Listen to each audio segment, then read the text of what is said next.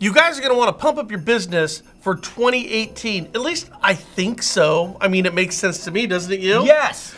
Well, listen, non QM, that's going to be the buzzword for 2018. Yep. So, Angel Oak is here with non QM. Yes. They're going to be doing a webinar this upcoming Thursday. It's going to help you with your business and it's going to help you with the direction, the trajectory of the industry for 2018. All you have to do to get there is click this banner right over there, or if it's on Facebook, it's, uh, it's, it's right up there.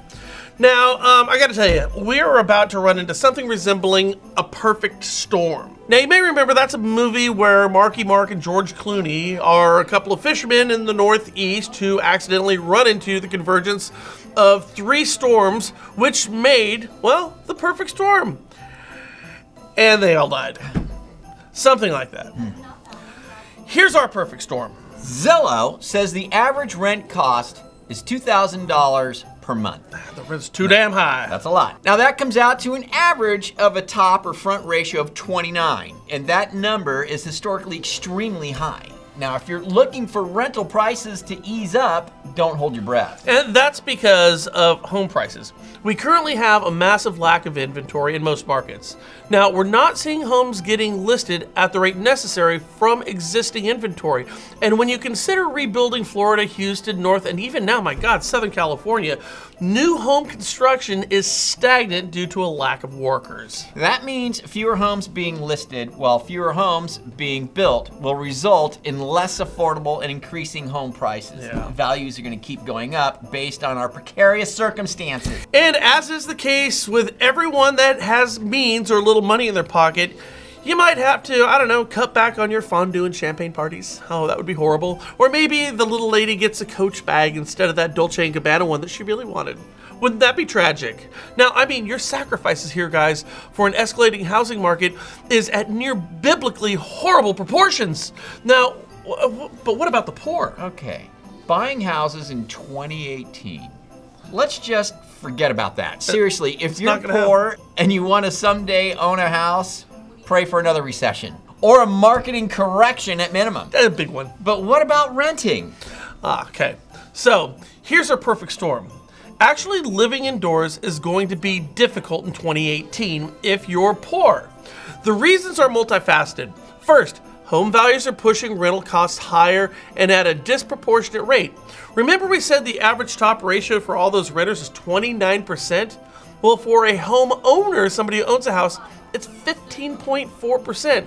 Now, why is that? Well, because if you own a home in 2017, you make more money. So even if your payments are higher, your ratios are lower, thus more affordable. Remember, we're talking about the poor and their inability to rent.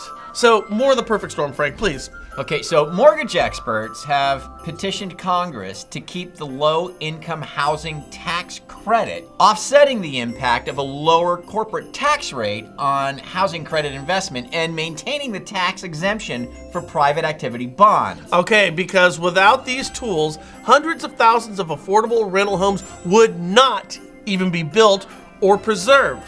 With millions of low income families lacking access to affordable housing and suffering under crushing rental burdens, the stakes, guys, I'm telling you, it could not be higher. Okay, so the poor are facing a nearly impossible battle as it is to afford living indoors. And by the way, if you saw that Colts versus the Bills game this last Sunday, it's not the time to get stuck without shelter. Unless you're Leonardo DiCaprio in The Revenant.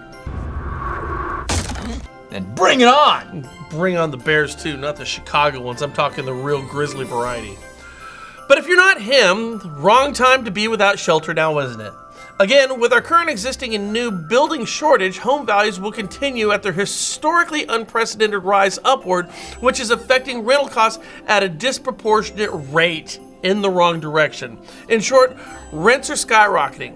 Then you add in that Congress is looking at getting rid of low income housing tax credits, which is going to push affordability in the low income rental space even further away. Which means we have, well, the perfect storm. And like Marky Mark and George Clooney, the prospect of survival doesn't look very good.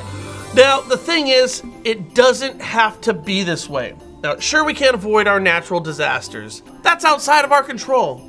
And sure, it's great home values are so high if you own a home. We get it. but we can control our housing tax credits. So let's not pile on. It's just not the right time. Keep the tax credits in place and for once give the underserved folks of this country a fighting chance. Because I'll tell you, if you want to know, and I mean really want to know what a country values, look at how they deal with their poor. We can do better than this with housing. Yeah, those tax credits. That's your Section 8 stuff, basically, right? Yeah, a lot of that. Yeah. It encompasses a whole bunch of stuff. Your, your mor- mortgage credit certificates, your tax credits for building, you know, offsetting your Section 8. It's a whole bunch of stuff. It's just basically going to take the poor and the, the things that are keeping them indoors. And if we pull all that away, it's going to put them outdoors. Uh, it- you know, uh, I don't know. That doesn't sound so good. No, no. Uh, Listen, we. Uh, I think a lot of people see us as kind of a the champions for the rich. You know, because less regulation, less regu- We think that less regulation helps the poor. We, we want to see. Uh, we as Americans, we want to see our fellow Americans taken care of, Yeah. and the ones who need it the most are the ones who are on the lower rungs of the so- of the socioeconomic ladder. Well, there you go. Let us know your thoughts in the comments down below. Do us a favor, forward share. We really appreciate that. Subscribe free in your upper right hand corner on the website.